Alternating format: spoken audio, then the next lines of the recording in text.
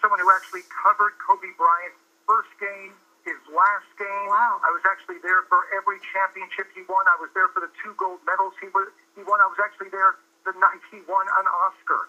Uh, this was someone who had unbelievable accomplishments. I was even in Eagle, Colorado, probably the low point for Kobe Bryant's public career when he was had that uh, uh, charge of rape for a while that was eventually settled out of court. So I've covered this man from from when he was drafted as a high schooler uh, to now and his death here, and it was just a remarkable life where this was a man who I felt always gave it his all, and that's why sometimes you didn't get along with other players. Uh, you mentioned Scottie Pippen. I remember one Game Seven that the Lakers played against the Portland Trailblazers when Pippen was with the Trailblazers, and Kobe Bryant put the stake in the heart of Scottie Pippen in that Game Seven where the Lakers came back, and I remember Scottie Pippen in one of the games pounding his fists on the towels that were going to be used for the players to to clean up. He was just so distraught at some of the pain that Kobe Bryant and the Lakers uh, instilled in him. So uh, this is just. Uh, I am trying to recall a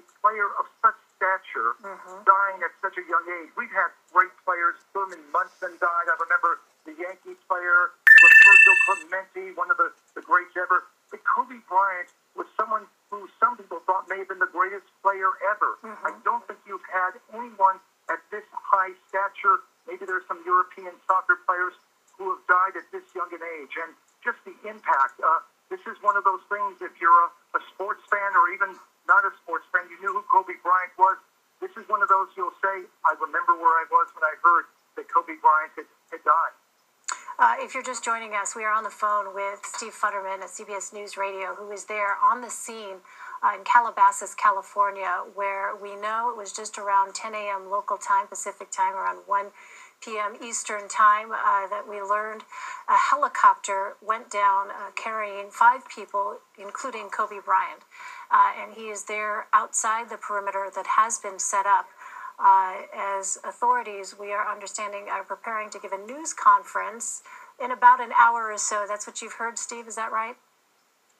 We've heard uh, nothing official. We heard roughly maybe five o'clock Eastern time. It could come, come sooner. It could come later. Uh, again, my understanding is authorities have not officially identified Kobe Bryant as a victim in this uh, helicopter crash. We've gotten this obviously from many of our sources, and all the sources are confirming that yes, Kobe Bryant was on that helicopter. But still, until you hear it, always that uh, hope for a miracle that something was uh, um, misunderstood in this crash. But I don't think that's going to happen, unfortunately. Yeah, um, as we've been speaking, you know, the emails are coming in fast and furious. Um, one of the emails uh, from our national desk at CBS News saying that, according to the Calabasas city manager, uh, Kobe Bryant was on board. And again, Yeah. uh, all of this, uh, we, we do have to give that, that, um, that caveat. Obviously, we are hearing a lot of things right now, but this is uh, our CBS News national desk confirming with the Calabasas city manager that Kobe Bryant was among those on board that helicopter. But Steve, you're absolutely right. Uh, caution, obviously, uh, at this early stage is is very much warranted.